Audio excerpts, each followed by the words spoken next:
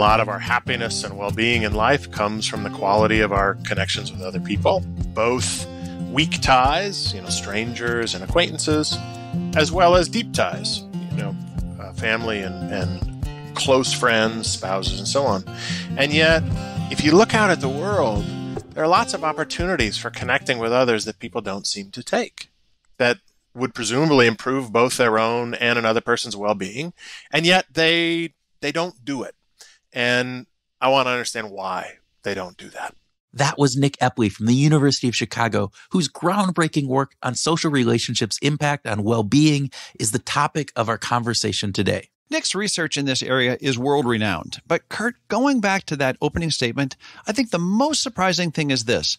While we know how important social interactions are to the quality of our life, we often don't connect with others when we have the opportunity to do so. That is so true. And it is the core of Nick's research as well as our conversation today on this episode of Behavioral Grooves, the podcast that explores stories, science, and secrets from the world's brightest thought leaders for the curious at heart. I'm Kurt Nelson. And I'm Tim Houlihan. In our podcast, we talk about behavioral science insights that can improve your well being and your relationships. And today's episode really epitomizes well being and relationships. That is very true. Nick Epley is the John Templeton Keller Professor of Behavioral Science and Director of the Center for Decision Research at the University of Chicago Booth School of Business. He studies social cognition, how thinking people think about other thinking people Say that. A, say that yeah, a couple times fast, a, right? A, that's a mouthful. How thinking people think about other thinking people, and he studies that to understand why smart people so routinely misunderstand each other. It is a fascinating conversation that looks at why we are reluctant to share.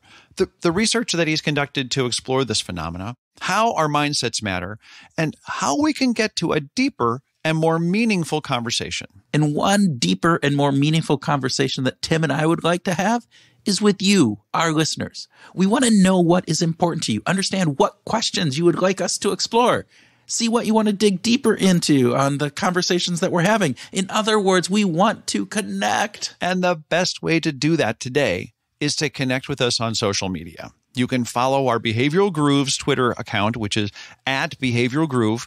That is Behavioral Grooves without the E or the S at the end. Okay.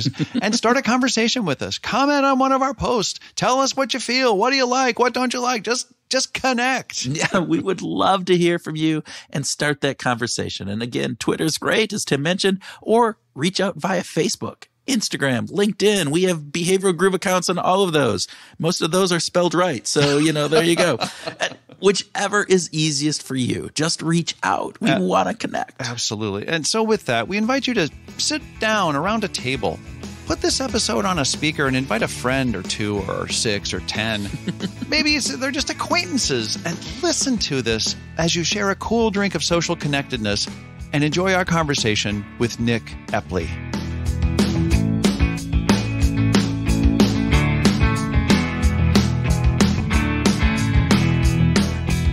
Nick Epley, welcome to Behavioral Grooves. Thanks, Tim. Appreciate you having me here. We are excited to have you. This is going to be fun. And as always, we start with a speed round. All right. So, Nick, would you rather have dinner with your favorite musician or favorite athlete? Musician. Anyone come to mind? Uh, yeah, I, I, I have long been a fan of Metallica since I was a kid, and uh, I would I would talk with the lead singer, singer of Metallica, James Hetfield. James, oh man, that would be an interesting conversation. He's a smart yeah. guy. He I is a really smart, guy. guy. Been through a lot. Unbelievable longevity. Yeah. Totally fascinating character, I think. He spits just as well from the stage today as he did 30 years ago. I think it's amazing. That's right.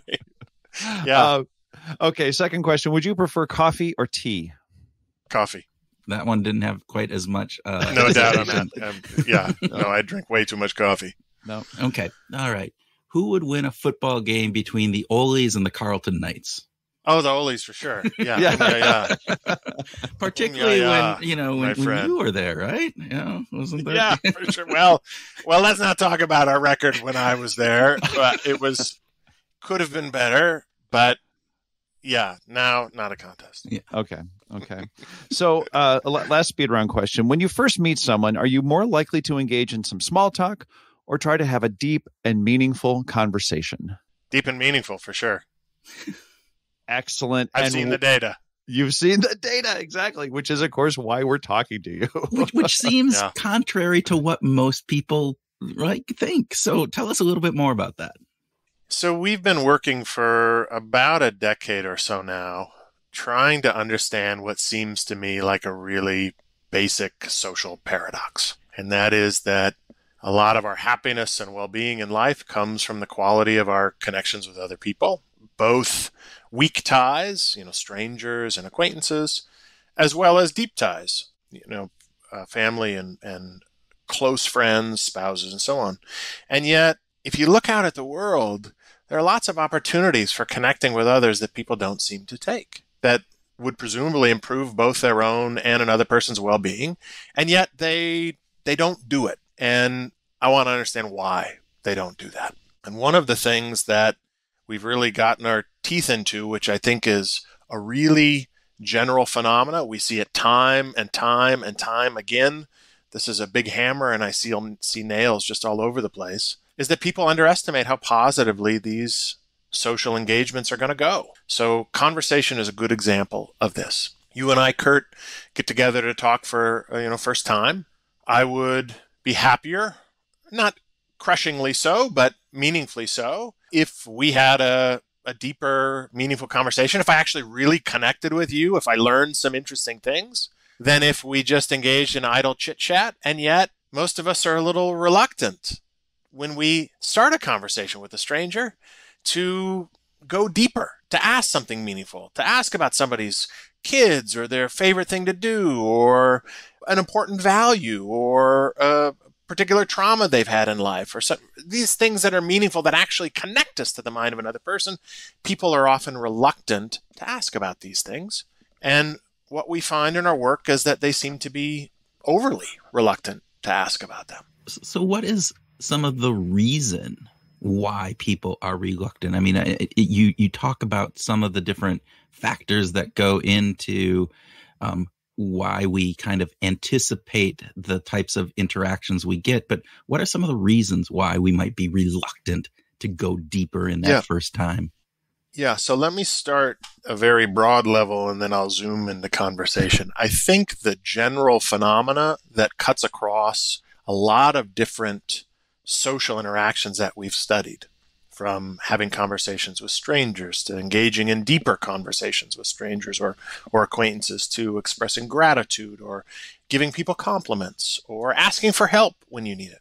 I think the general phenomena going on across all of these situations is that we underestimate, we fail to appreciate just how social other people are. We tend to think about other people as individual agents who have their own interests and concerns and do their own things, when in fact, people are quite social. They care about others, they want to connect with others. When you reach out to someone, their behavior is not just a function of who they are, it's a function of the fact that you reach out to them, they tend to reach back. We tend to think about other people like marbles out in the world. I mean, you know, just these sort of independent agents with no connection to others, when in fact people are more like magnets. When they come into close proximity, the presence of one has some force that pulls the other often towards it. Not always, obviously, we have some cases of repellent forces, but often they pull each other together. And thinking about other people as if they're marbles when in fact they're magnets, I think produces a whole host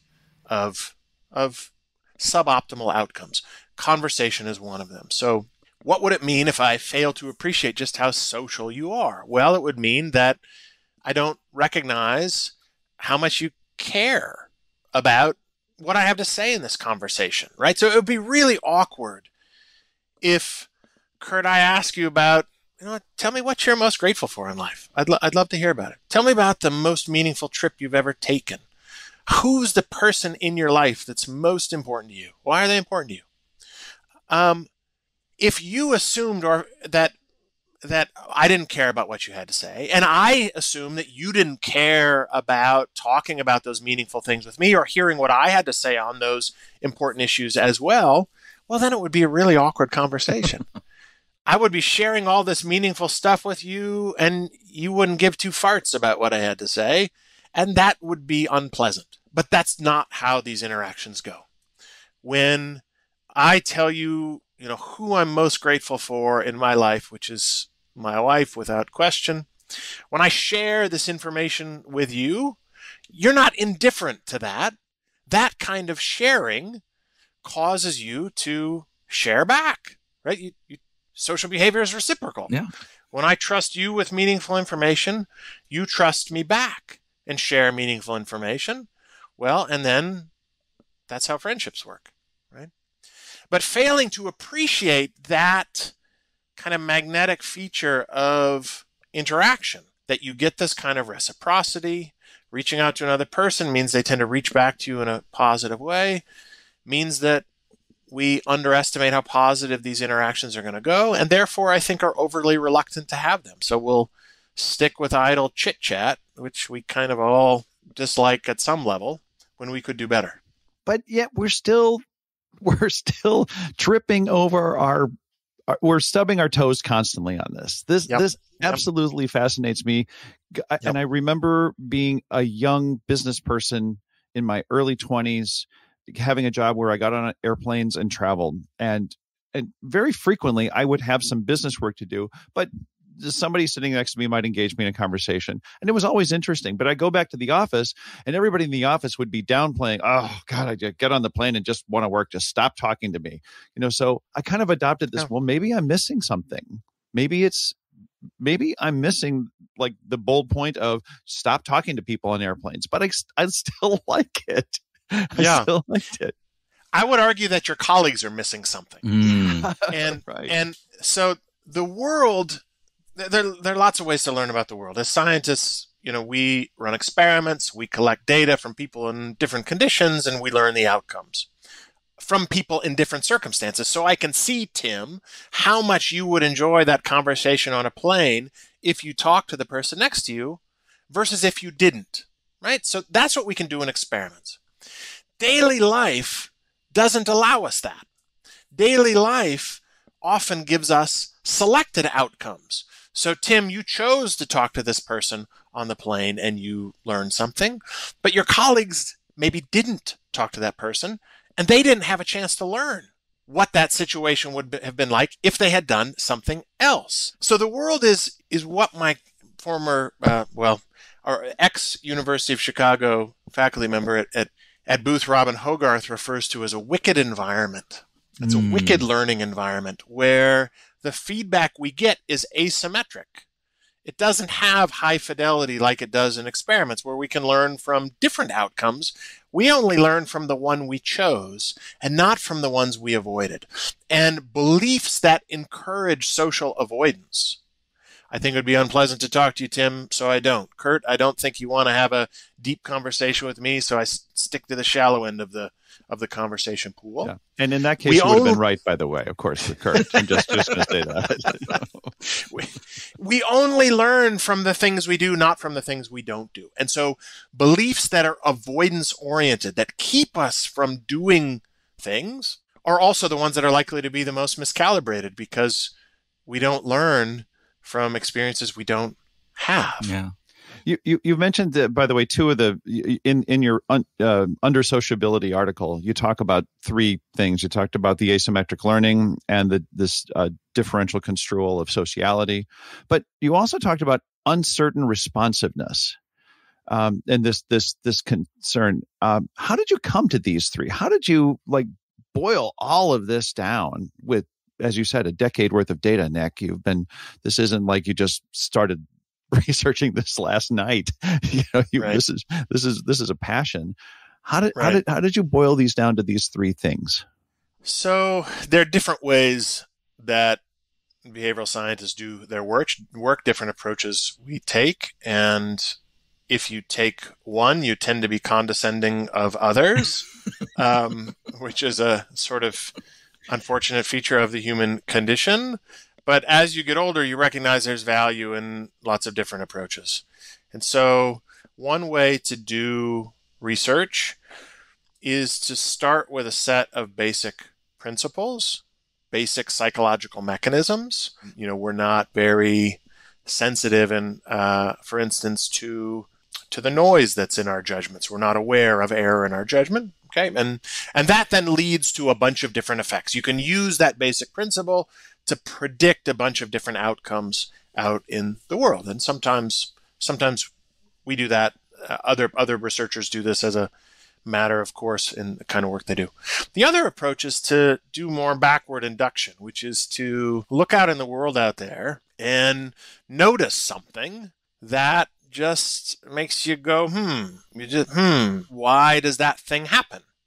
And this whole body of research that I'm talking about here is of that latter category for me. I, I so vividly remember one day on my train ride into Chicago having this overwhelming aha sort of moment. I was writing my first book titled Mindwise, where I was describing this amazing feature we have as human beings to think about the minds of others. I think it's something that really makes us unique on this planet. Much of our brains are dedicated to social cognition. Uh, and this capacity to connect with the minds of others is critical for our happiness and our health and well being. And yet, on my train ride every morning into the University of Chicago for uh, you know the better part of nine well this was probably seven or so years at that time i was doing this I saw the same thing day after day after day. Highly sociable people with brains uniquely equipped to connect with the minds of others who weren't doing it ever. Like ever. You'd sit on the train, people would line up along the windows as if they were hugging, you know, some sort of protective space. God forbid you'd sit next to another person. They had to, and then people would get on the train and, and they would creep in next to you always last to me. Like I was always the guy who had the one seat next to him. Somebody would, at the end, they would be stuck sitting next to me. They would sit next to me. And then 45 minutes, we would go on the train ride, sitting cheek to jowl with someone who was social like us, made happier and healthier by connecting one of our neighbors, not a random psychopath. and what would we do for 45 minutes? Nothing. totally ignore each other. Like, what the hell is going on? Why do people do that? So that was the, and it's not like, you know, it's not like I hadn't done this for years. I had, but one of the things you do as a, one of the things you do as a, a researcher, I think, is that you get your antenna, antenna tuned to these kinds of observations and they strike you as, oh, why are we doing this? And so I had this insight one morning on the train. Why are we doing this? That's what started all of this. I actually had a conversation on that very morning with a woman I remember very well. She's wearing a red hat, older African American woman carrying this big bag. And I thought, well, this seems dumb. What if we tried something else? And so then I tried something else. I had a lovely conversation with her for half an hour. And so so that's what started these wheels turning. I study social cognition for a living. I study mistakes we make in these mental state inferences. So it's not like this was a new topic for me, but trying to explain why do we do this was like grabbing the loose thread on a sweater. Once I tugged it, mm. oh yeah, all of this stuff started to unravel out of it. And then Tim, back to your initial question, you try to explain it. This is what we do as psychologists. Well, why why would we be reluctant to engage with a stranger when in fact it turns out pretty well? What could explain that? So at that point, you're consulting the literature. And I didn't come up with anything new here in terms of why people are reluctant to do this. What I did was I connected our knowledge. I worked backwards from the other approach to doing research. Yeah. I took this phenomena, I try to think about why this might be not just random but systematic and based on what i knew of the literature was able to identify what i thought were a few plausible mechanisms and i started testing those with my collaborators and we found evidence for some of them um, and and that's how it worked and i'm sure look i'm i'm sure there are other mechanisms at work here tim other things beyond these three that we've identified i don't know what those are we'll find out. Yeah. So two questions here, totally unrelated to each other. So uh, let's let's go with the first. Given what you just said, so you, you got this epiphany. You're you're on the train. You're you're looking at all this, and then So, what has been some of the research that you have done to kind of highlight this, to kind of get at some of these understandings of different pieces? Is there one or two research elements that you could uh, explain with our with our listeners to kind of highlight what what some of that research is that you've yep. been doing to do this? Second part of the question then comes after this, going back to what you talked about about moving from the, the like that kind of just small talk into deeper talk. And we talked about the reciprocity of this. And I'll come back to this because these are two very disparate questions. And I apologize. This idea that, okay. all right, so in that case, do you, do you start by asking people, uh, those deeper questions or do you start by sharing about yourself in those deeper questions? Because again, if it's a, re- a reciprocal type of relationship, um, you would, I, w- I would assume that you would start by sharing about yourself, but that kind of seems different than how what anyway we'll we'll start with the first one tell us about some good research and then mm-hmm, and then we'll, mm-hmm. we'll come back yeah. to this other whole different line as as we go on yeah so the research that started this whole program about what we now refer to as under sociality just started on the train i was on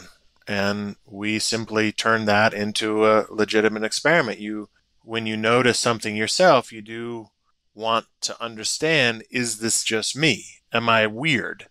Right? Am I unusual? That's why we run the experiments to find out whether effects are general and robust or whether they're unique to a particular person or, or group. And so one of the first experiments we did just went to the train that I ride on we went to a station just north of us in Homewood, Illinois. We went down into the lower level before people go up on the trains. And in the morning commute, we recruited people for a commuter survey, a commuter study. If they were interested in participating in that experiment, we then uh, randomly assigned them, and this is important. They agreed to participate before we randomly assigned them con- to conditions. So we're not telling them what they're going to do and then allowing them to choose. Right? You're either in the drug treatment condition or you're in the placebo condition. Decide which one do you want to do this. yeah. They signed up for the experiment, and then they learned what they were going to do. And we asked them to do one of three things. We asked them to either uh, do whatever they normally do on the train that morning on the way in, to that's one condition. That's our control condition. We asked them in the second, uh, another condition to just enjoy your solitude on the way in this morning. Just keep to yourself. Just focus on your day ahead. That's our solitude condition. And in the third condition, we ask them to do something radical, which is, you know, when a person comes and sit down next to you, try to have a conversation with them, try to make a connection with this person. We then handed them an envelope that had a survey in it. Uh, that's our old school way, an actual paper survey that they filled out and dropped Crazy. back in the mail. I know it. This was you a decade ago. we did this. yeah. We didn't at the time, or or we didn't know how to use it. I can't quite remember, but we actually had you know envelopes with stamps on them, and they filled out a, the pulled out pulled out the survey and filled it out at the end. They also gave them a $5 Starbucks gift card for doing that, which is the most valuable incentive you can give to anybody on the planet, as far as we understand. especially, and com- especially commuters. yes. Especially commuters in the morning. Yeah. If we'd actually given them a cup of hot uh, coffee, that probably would have been better. But anyway, that's what we did. Um, and then at the end, we just asked them to pull out the survey and fill it out and drop it in the mail and send it back to us. The survey asked them uh, about a, a bunch of things. The first four things were the things we were or testing our primary hypotheses. We asked them how productive were you on your commute this morning compared to normal, much less productive or to much more productive. Turns out we didn't find any differences across conditions on this. Huh. Um, so to Tim's point earlier about the colleagues saying you got to work on the plane, uh, at least on the train, people didn't seem to get much done anyway uh, on the train. Or at least once you asked them to have a conversation, they found that to be pretty productive. Yeah. We don't know. Um, and then we also asked them about just how good was the commute. We asked them about their mood. How sad are you now compared to normal? How happy are you now compared to normal? Um, or sorry, we asked them how sad they are uh, after the commute and how happy they are, not compared to normal. But then we asked them how pleasant was your commute to, compared to normal we averaged those three together, reverse scored the negative item just to get a measure of, well, how, how positive was your experience? And what we found was that those in the connection condition reported a more positive experience than those in the control condition or the solitude condition. And so that then raised the question of, you know, hmm, why? It's rare that people choose to make themselves less happy than they could be, or at least people think that it, it's not usual for them to do this. And we thought that people, uh, to to our earlier point we were talking about, we thought that people might um, might have mistaken expectations about how these social interactions would go, and that they were then behaving perfectly rationally, that is aligned with their expectations, but that their expectations about their commute might just be wrong. That is, we, for a variety of reasons, expected that people might think that they would enjoy their commute less than they actually would if they engaged in conversation than if they kept to themselves or did whatever they normally did. So to test whether people's expectations might be calibrated or miscalibrated, we ran another experiment recruiting people from the same station, same time of day, but this time asking them to tell us how they thought they would feel mm. If they were in each of these conditions. And these participants reported telling us or, or reported thinking that they would actually be the least happy have the least positive commute in the connection condition mm. than in the control condition or in the solitude condition. Gary Becker, who is one of our famous Nobel laureates in economics at University of Chicago, in his Nobel address noted that the rational choice model, that is the rational uh, agent model, which is dominant in, in economics, assumes people are rational agents, assumes that people behave in the world in a way that maximizes their well being as they conceive it. And that conception part is appropriate. Rational agents behave in line with their expectations. It doesn't mean that their expectations are aligned with reality. And so what we found was that people's expectations here were miscalibrated. And again, that was the first kind of tug on the loose thread on a sweater that everything else started to to stem from. We found those miscalibrated expectations were were quite common about interaction. They stemmed, at least in this case, again from thinking that others aren't that social. What we found was that people thought they were more interested in talking to others than others were in talking to them. And if you didn't think other people didn't want to, if you thought other people didn't really want to talk to you, well, it'd be impolite and rude to try to engage them in conversation. But it turns out when you say hello to somebody, I love your hat, I have one just like it, which was what I said to the woman who sat down next to me that morning on the train. well, they're going to do just what you did, Kurt. They're going to laugh. And that's going to then start uh, an interaction that wouldn't have had otherwise without it. So that's an example of a kind of experiment we do. We've replicated that recently, more recently, and uh, in trains coming in and out of London. Uh, there, we also find that um, what people are reluctant about there is is not having a conversation. It's not that they think that if they have a conversation, it'll be unpleasant. They actually think it will be pleasant if they have a conversation. What they think is that starting one is going to be hard because mm. they think other people don't want to talk to them. And so there, if we ask people to imagine trying to have a conversation on your commute that morning, people thought that wouldn't be very pleasant compared to the other things you might do. But they thought that if they actually found somebody they wanted to talk with, that is actually having a conversation, they thought would be pleasant with more pleasant than keeping to themselves. So that's an example of the kind of research we do here. We've expanded this, we've done this now in lots of different domains. We've looked at once people are talking, what happens when you engage in relatively more versus less intimate conversation? That's the deep talk question you'd asked about earlier. We've looked at what happens when people reach out and express gratitude to somebody they they feel grateful to, or express a compliment to somebody, or do a random act of kindness for somebody else, or or ask somebody for for help when they're in need, and just over and over and over again, reach out and express to support to somebody, engage in a constructive conversation. I mean, I, I feel like we're our papers are sort of broken records, but it, the, the effects are so so robust that people are just not social enough for their own well-being and we find this time and time again going to the second question then as you're thinking about that as you talk about that deeper deeper meaning and maybe this isn't part of this but but do you start that deeper conversation by sharing about yourself or is it by asking the question of somebody else did any kind of insights as to so if i'm going to do this how is the best way of being able to do it so that's a great That is a great question. And I want to answer it in two ways. so, first, I'll say we don't really know. Mm. So we haven't we haven't tried to optimize this. And I'm sure it matters a little bit. I'm sure it matters a little bit. And this is something we get questions about all the time. Okay, all right, smarty pants. So I'm going to do this. How do I do it? Yeah. How do I start a conversation, right? But I actually think that's the wrong question to ask. I don't think that's the right way to think about this. I don't think that people have difficulty knowing how to do this. Uh, They have some, and and that's not to say it's not important. It is important. I think the bigger issue is that people don't try, and that it's not. I can give you a list of tips on how to start a conversation. Open with a compliment. I think actually starting by by showing interest in another person. I can give you some tips.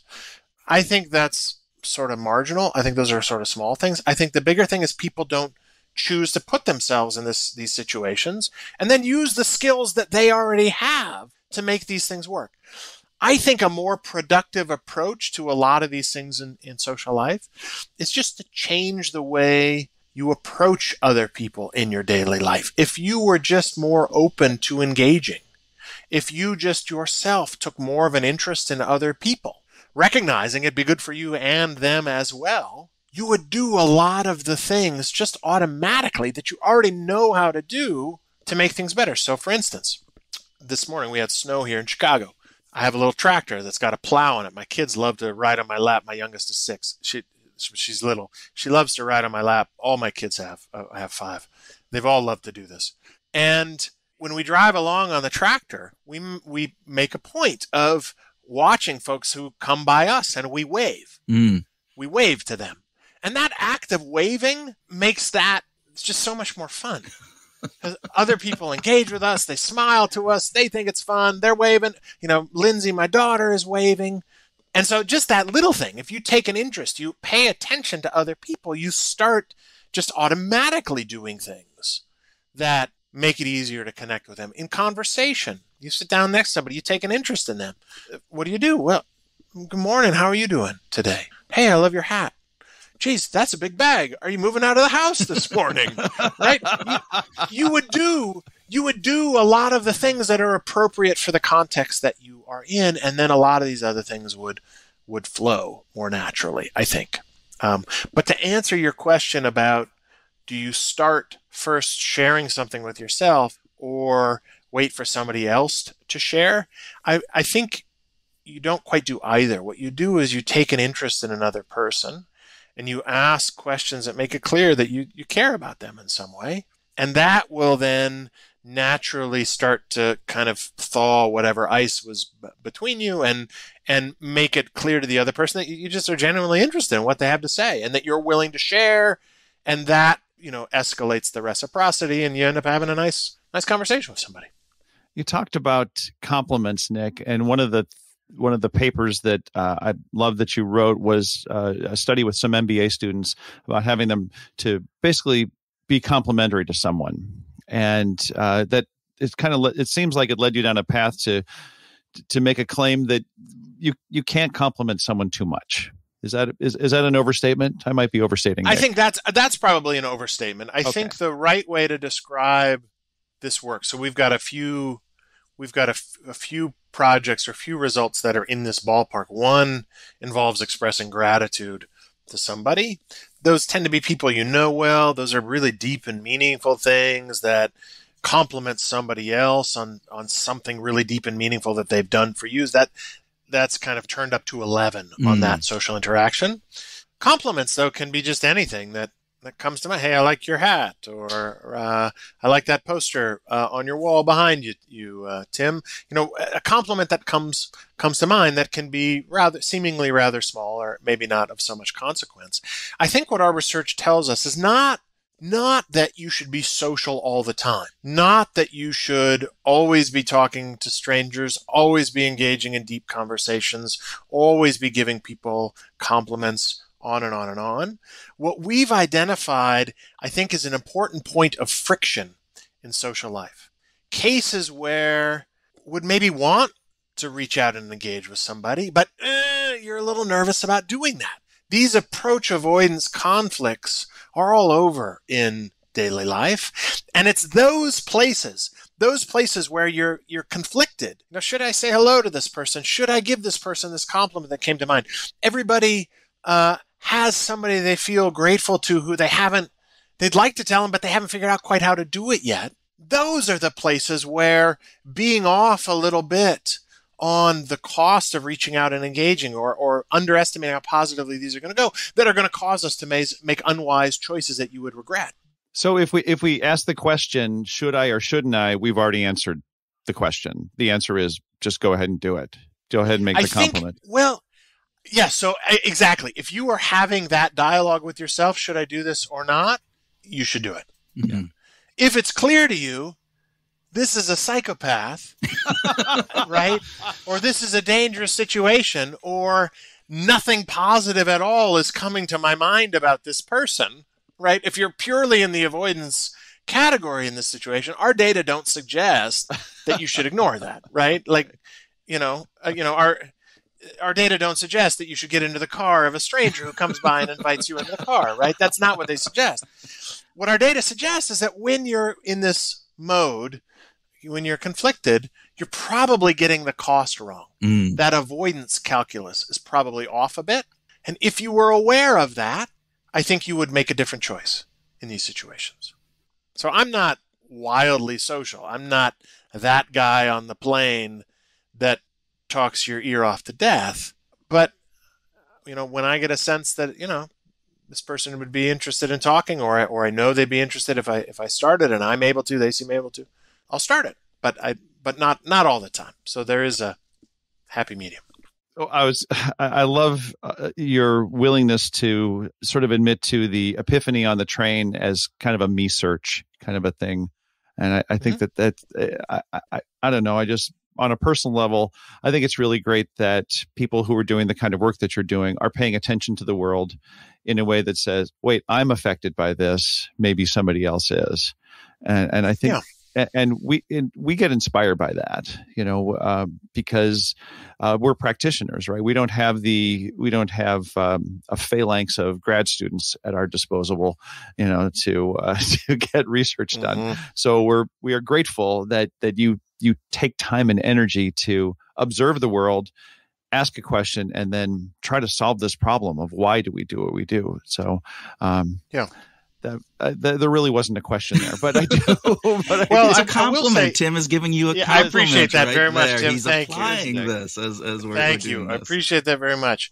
One of the things I say to my my MBA students every year when I when, when I'm teaching is is that everyone in their daily lives is a behavioral scientist. Yeah, everyone, everybody does this. Love that, right?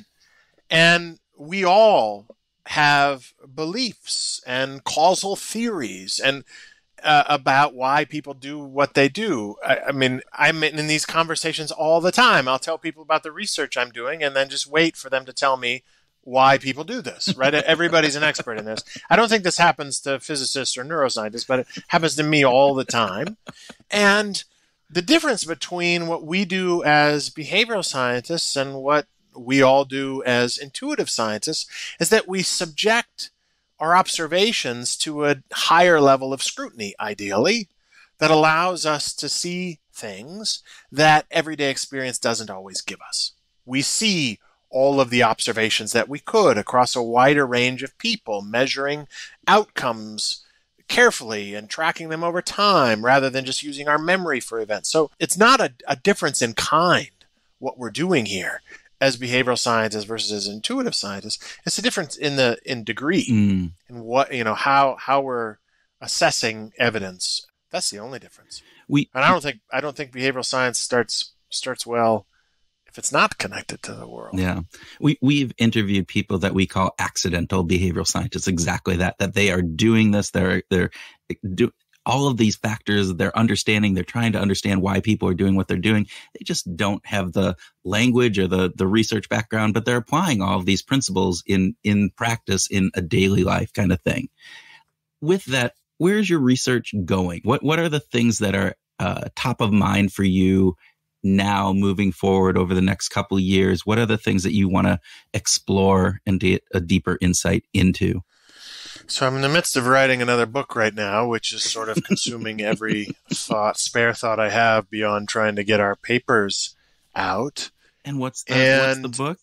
Is it, can you give us a, a little overview of what this this book is going to be about? Yeah, the book is about under sociality. Mm. Is about people not being quite social enough for their own well-being. Why that happens, what the consequences of that is, I think, for our own experience, and also I think for society as well. So, Mm. a lot of the angst and disconnection we're seeing in the world today comes from people not really engaging with each other in a in a deeper way, becoming really disconnected from each other in lots of ways, and that just creates ill health, not at, just at the individual level, but at the societal level as well. So that's what it. That's where my attention really is, and beyond that, we don't. You know, I, I can't see that far ahead. The great thing I think about research is that it unfolds as you're doing it. I can tell you about the papers we're writing right now. We're trying to understand how individual level beliefs about each other can produce social norms, Mm. you know, kind of social level effects. So, why is it sometimes we get ex- situations like a train car or a plane where people almost never talk to each other versus others like a party where everybody talks to each other? What, why? It's not, these things don't show up everywhere. We think they're critically contingent on people's beliefs and expectations about others, and we're trying to track that. But you know wh- where the next epiphany for where this goes next, we don't know. I Where where that know, next that- woman in a red hat is, we we're not, yeah, not quite no, sure. I don't huh? know, and absolutely, I, I just I don't know. You know, you you're when you're in the midst of a project, you're often or series of projects, you're often thinking, what's the bigger thing to do? So you know, we'd like to take some of this world work around the world in different cultures, different contexts, Yep. you know, make it big. Look at. I- actually think that what varies a lot around the planet are not people's experiences of social engagement, but rather their expectations Mm. and so that you can explain more open or enclosed cultures not by differences in their actual sociality but rather by differences in their beliefs that's a very hard problem to study um, but that's the next big thing i'd like to start tackling. I know other people are tackling different aspects of this kind of work. So my friend liz dunn who's at the university of british columbia brilliant behavioral scientist is trying to understand how to encourage people to be more social. Mm. right so how do we overcome these expectations to encourage more sociality those aren't problems i'm that well equipped to think about other people are better at thinking through those kinds of problems than i i am and so i don't necessarily see our work going that direction but then beyond that Who knows? you know who knows we're you know we're we're, we're blind runners Yeah. here uh, where we can see kind of as far ahead as we can feel Yeah. uh, in front of us but long-term vision you know and, and any given experiment is is likely not to work out that is your hypotheses are likely to be off in some way and you're learning as you go along you don't know what you're going to learn Which is the fun part about the research, right? I mean, if everything absolutely rolled out like the hypothesis that you have, then it would be like, all right, well, yeah, we're just making good guesses, and that's not how this works. Absolutely. Yeah. Absolutely. The key thing I am harping on my students about all the time, and it's there's it's a subtlety of it's a subtlety of language that I try to drive out um, of my own thinking and out of my students as much as I can is is not to talk about experiments as showing that Mm. we designed this experiment to show that, or we would like to prove that, or would like to demonstrate something. Our experiments, we don't design our experiments to confirm our beliefs. Rather, I try to encourage my students and myself to always think of in terms of testing that. Yeah. We designed this experiment to test that hypothesis or to test whether, because the most interesting insights from research, I think, the things that really get you moving down a new path are the cases where you were not right, where your expectation led you astray. One great example of that in, in our work was one recently where we were trying to understand how to overcome some of these misunderstandings about the minds of others. So I, it's hard to know uh, what others' beliefs and attitudes are. And one of the ways that psychologists, I think, had presumed for a long time would would make us better at this was engaging in perspective taking. So, Tim, if I just put myself in your shoes, try to see things from your point of view. If I sit down next to you on the train or a plane, then I'll be better able to understand whether you want to engage with me or not, or I'll better understand your beliefs or attitudes. And we were we started a bunch of we started some experiments trying to understand well how does perspective taking like that increase accuracy, and it just turns out it doesn't. Mm. That is putting myself in your shoes, Tim, doesn't do squat for me. it turns out in understanding as well as far as I can tell doesn't doesn't doesn't increase my ability to accurately understand what's on your ah. mind. It does a lot of other things to me. Makes me feel closer to you and makes me think that you're more similar to me, but it doesn't necessarily give me access to your mind because I don't have access to your mind. I'm just guessing in my own mind. So that project started with a hypothesis tests that just turned out our, our expectations were just wrong and we're wrong again and again and again and again and again and again and again. We published a paper with 25 experiments in it where we were reporting that engaging in perspective taking, putting myself in your shoes, doesn't increase the accuracy with which I predict your your views, yeah. your beliefs, or your attitudes. And only one thing does, it turns out, which is the really stupid thing, the stupidly obvious thing of just asking you what's on your mind. Wait, wait, that's wait, the headline. Yeah. Yes, no, she, no. I was yeah, about that, to swear. No, no kidding. No yes, shit. no that's kidding. Okay. No, this is a no uh, shit moment. Yeah, this no is, kidding. Yeah. Um, but what was interesting about that paper was the, the obvious solution was the only one that increased accuracy, but people didn't recognize that. That is, they thought perspective taking would increase their their accuracy. They thought doing that would make them better. And when they were actually doing each of these things, when they were engaging in, you know, when we brought spouses in together to to put themselves in their partner's shoes to guess what was on their mind, they thought they were doing just as well using a completely ineffective strategy as when they were actually asking their partner what they thought about these questions they were then later having to predict their responses on so yeah, so insight often comes, I think real insight comes not when we're doing experiments that show that. It's when we're doing experiments that test whether. That's what we're trying to do. I'd like to switch things up a bit here. For, forgive the lack of a clever segue, but I'm interested in talking about music for just a minute. And if you found yourself stuck on a desert island, let's say you're going to finish the book, you're going to you're going to separate yourself from the from the whole world, from your loving family and wonderful colleagues at, at in Chicago, and you're going to stay on a desert island for a year. What two musical artists would catalog would you would you take with you? Oh God. well, we talked about James Hetfield earlier, so I'd need Metallica's I need Metallica's uplift at times. Yeah. Um, and then I would probably bring along this guy who, a piano player named David Tolk, T O L K, who I just, who I really like. He's kind of a new agey, some, uh, well, he's he's not a new age is the wrong is the wrong term for this. He's just a, a pianist who, who I think plays beautiful, soothing, lovely music. My daughter takes her naps to David Tolk, mm. asks Alexa to play David Tolk.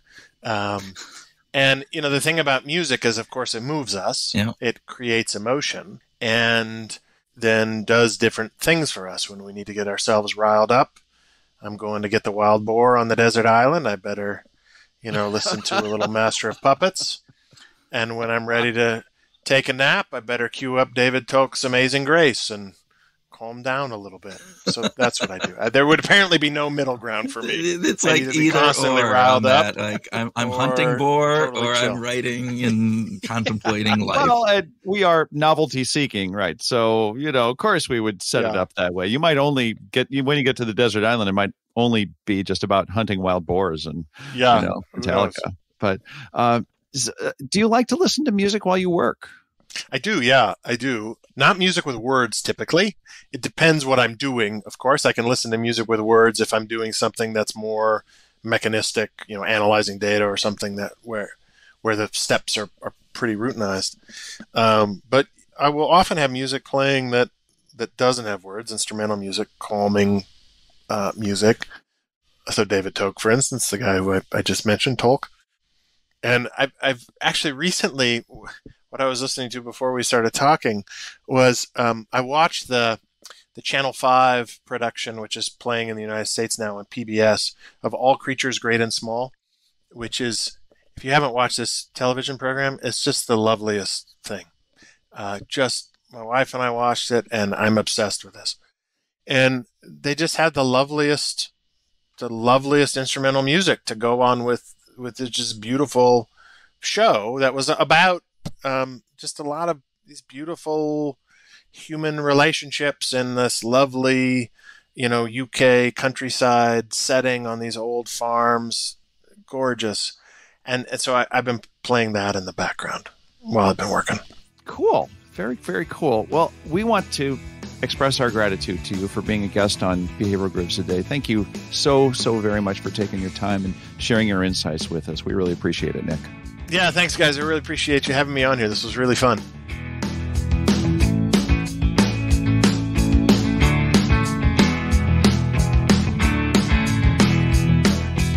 Welcome to our grooving session where Tim and I groove on what we learned from our discussion with Nick, have a free flowing conversation, and talk about whatever else comes into our socially connected brains. You're making it sound like there's something weird going on there. We have a. It's like the social. It's the you. The, what's that Marvel? The the connected brain. I forget who. Anyway, I don't know. Matter. I don't know, but uh, Pierre Teilhard de Chardin, the Jesuit philosopher from the early 20th century, called it the noosphere. Ah. No, notice you go to early French philosophers, and I'm talking Marvel. Shows you where where where we spend most of our time, right there. It really is. It's pretty. and I can't even remember the Marvel thing where you can quote like nice and direct. That's that. There you go, folks. If you want to have a deep conversation, talk to Tim. If you want to just talk about, talk about comics, hey, you know, who's better, Iron Man or Captain America? Come talk to me. There you go. All right, well, where do we where do we want to start this grooving session on on next? I have a question for you. Oh. Do, do you talk to people on airplanes? I like do. strangers that are sitting next to you. I, I do, but not all the time. Okay, what what uh, and well, why? Well, and uh, the reason that I do is because I read Nick's paper. Okay. So a few years ago, and and I took it to heart, and so I don't do it all the time, and I, I absolutely didn't do it much before that but I like it. I have to admit, but not on long flights. Like like we flew to Qatar. It was yeah. 16 hours in yeah. the air. No, I, I was not interested in, in starting a conversation that might last that long. But like on hour long flights, or you know, two hour long flights, yeah, I think that it's okay just to have a little bit of chit chat and find out if they're getting divorced or not, or who's who's you know if their grandmother is dying, or you know you get these really weird interpersonal things, and I like it. And, and how about you? You know, it's really interesting because I don't, and I have this like little. Not at all. I typically don't. So I, I, there have been a few times, and those few times have been absolutely wonderful. So it's this idea, like like you know, I've had great conversations and I've never had a really horrible one. I've had one, I think, where uh, the person droned on a little bit, but you know, I was able to weasel my way out of it. So it wasn't like it was, it was horrid. Yeah. But I just don't. I get my book, I get my headsets on, I kind of make it pretty, you know, noticeable. Like, don't talk to me. yeah. until we land and the wheels hit and we're getting the, the ding goes on and I go, oh, then you have that conversation. But man, yeah. Because you know you've only got like six minutes between yep, and, and touchdown as, and the. As the horrible terminal. as that conversation can be, it's only going to last for a short time then, for sure. But, but given this, I, I am, I'm going to because of this research and because of talking to, to, to Nick, I, I, think I'm going to be more like you. I'm going to make a an effort to say hi, to introduce myself and ask just some meaningful questions that might Right. lead to a good conversation. I will tell you, I had one of the best conversations ever with this guy coming back from uh, on a red eye from Las Vegas. Huh. You know, I was young and great, and you know, and we he's telling me about his, you know, how he goes out to Vegas and gambles on, and he flies out over the weekend during football season because he bets on all of the all the sports things and how much he bets and it's just an interesting conversation you know? So you have some really interesting conversations. Okay. but you know. So it's it's happened, it has happened yeah. But and yet you still steered away from it until until just recently. yeah because you know I, I never trust my own intuition and i just I, I need research to back it up so Yeah. no i don't know. It's it's it's it's as i think one of the things that he said right? I think even though i've had the good experiences with this i still had that fear a the fear that a i'm going to get stuck in a bad conversation but two the fear that the person sitting next to me isn't going to want to have that conversation right hmm. they're going to want to be left alone and so i'm bothering them by trying to initiate something I don't know. I, I, I have, when I started doing this, I took it from the place of you never know. And I'm just going to be uh, friendly and see what happens. And uh, again, sometimes it works and sometimes it doesn't. But I've met some really interesting people, yeah very, very interesting people, people who were wildly financially successful, wildly successful in their sort of their relationships, like they had great families, you know, to rely on, um, and people who were troubled. You know, I wasn't joking about the, you know, I'm just getting divorced or holy cow, you know, my grandmother just died and I'm going to the funeral. It's like, it, you know, shit happens. You know, it's real life. but this is the piece that I, I, you know, the big piece that I'm taking out of this, and it goes back actually. Um, you know, Jon Levy talked about the same thing, but this idea that, you know, the the well being in life comes the quality of our connections. Yeah. Jon Levy said it in this way back in, I forget which episode he was in, but he said, the fundamental element that defines the quality of our lives is the people that we surround ourselves with and the conversations that we have with them. And what I love about what Nick is saying is saying you have both those really tight and deep, meaningful relationships like we have with our families and our close friends. But there's also those weaker connections that make a difference in our lives. And particularly, this is the part that I think, you know, Jon Levy's talking about is this the conversations that we have with them. And if we have better conversations with people and more of those better conversations, we have a much better life. And I'm just, uh, that's what I'm running with. Yeah. It is. That's fantastic. I love that quote from Jon. Just kind of love Jon in general because he's such a, sh- a sharp guy. But it is so interesting that Nick has picked up on this idea that even though we know it's better, we still don't do it. That you know that that we know that we rely on other people, that we rely on relationships, and yet we still don't do it. Um, I mean, we talk to people at parties, but oftentimes because we have to because it's the it's the it's the social norm. So like, oh, gotta go to this party. I'm gonna meet a whole bunch of new people. Okay, put on my party face.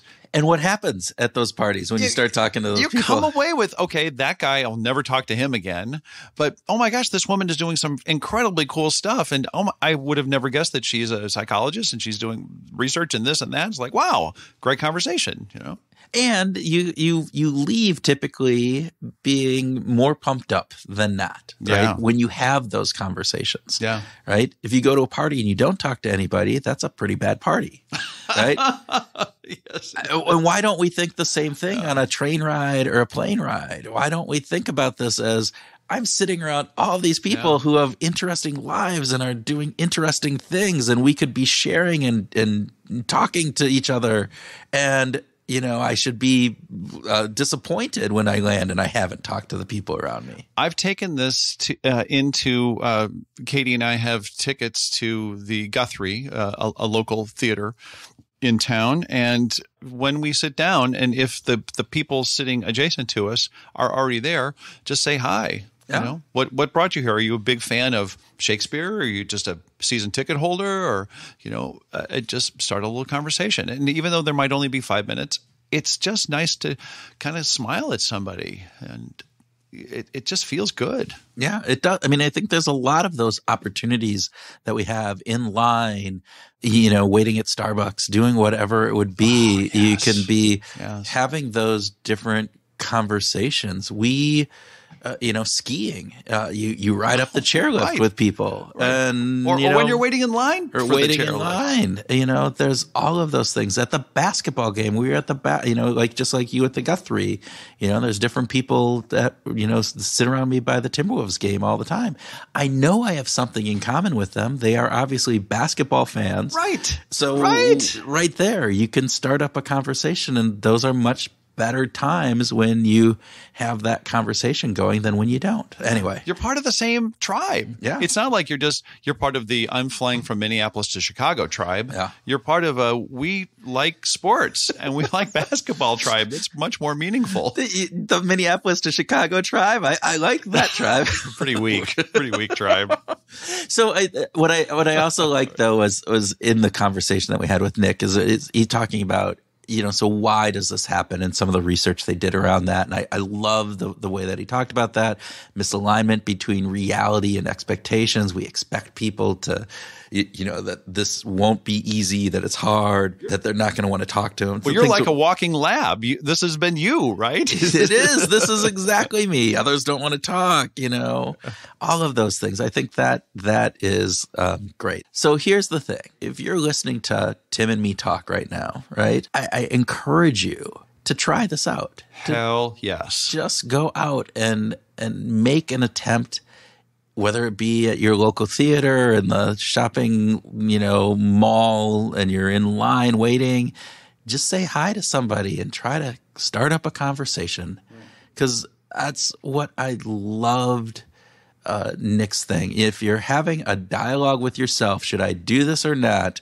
You should do it. That's it. That's exact. That that's the best question right there. Uh, and uh, don't be creepy. you know? well, i don't know if you can help but being creepy Well, tim but- but, that's that's a whole separate as- aside But to follow that, it's good to start by just sharing first. Yeah. You know, you don't have to put somebody on the spot. Oh man, I didn't think it was going to take so long to get through this line. Yeah. You know, I'm just buying, you know, six pairs of jeans, nine, you know, t-shirts and, you know, 18 pairs of socks and they're getting heavy in my arms, you know. or I don't know. You've given an insight into your buying habits here. you, you like just go and buy all your clothes for the entire like five, Five year years, period yeah, and, yes. and one, one time. Yes. Yeah. You know, I, and I think it, it comes down to though. I I think the big piece that that kind of he brought up is that it comes down to mindset, right? Yeah. Being more open to these interactions, thinking of this as a party as opposed to a plane ride where you you know put your head into your book or and put your headphones on, right? You have you open it up. What Yeah. did he say? We're more like magnets than marbles. Oh, I love that. quote. Love that Yes. line. Yeah. We're more like magnets. So just let the magnets, you know, I, I, again, there's two poles, right? We're not always going to match up. And we're not picking partners for life. It's just for the next minute and a half or six minutes. Is there is there a conversation that we might have that could be enriching or Yeah. not? or not. And, and and either way, it's not not going to be as you said. You're not picking your your partner for the rest of your life. You're not going to be, you know, have a horrible experience that you're going to be, you know, miserable for No. days on end. It, No. It's a good conversation or not, and more likely than not, it will be a good conversation. Probably. And that I think is so. Go out there, take the initiative, be first to share, have a different mindset about it, and you know, you're going to be happier for it. Agreed. All right. So I think that's a good place to wrap up. I think What do you so. All right. All right. As always, as always, always, always, thank you for listening. And please, please reach out to us on social media. We want to have those deeper and more meaningful conversations with you. Yes, you, the person who has your headphones on right now and you're listening to my voice. Uh, you, I'm talking to you. As I'm sitting across the table from you and you're looking at me and, and you keep saying this, it feels just a little bit impersonal. just saying that. Um, it is true, though. We do want to hear from you because You, I, we're talking to you. well, we want to do it even more uh, and and more than we're doing it now, right? And as we do more of it, it's going to improve our well-being. It's going to improve our subjective experience. It's going to improve our psychological richness. and it's going to improve your well-being listener. Not bad. There you go. Right. You That's go. right. Everybody benefits. Yeah, we're we're just such giving people, Tim. That's all we're doing. We're just giving, giving, giving. Okay. Maybe we are. I don't know. All right. If you don't reach out to us, which I can understand because we probably just freaked you out with this whole fast Possibly, two minutes possibly, here. You going, those guys are freaks. No way am I connecting with them. Then at least start a conversation with someone when you're on your next plane flight or in line at Starbucks. It will make your life better. Science proves it. Bing. Yes. Uh, we truly appreciate you spending time with us. And we hope that you've learned something. Maybe there's something that Nick said that you can take with you, like we're more like magnets than marbles. And, and that you can go out and use that today, tomorrow, this week. And, and hopefully you can go out and find your groove.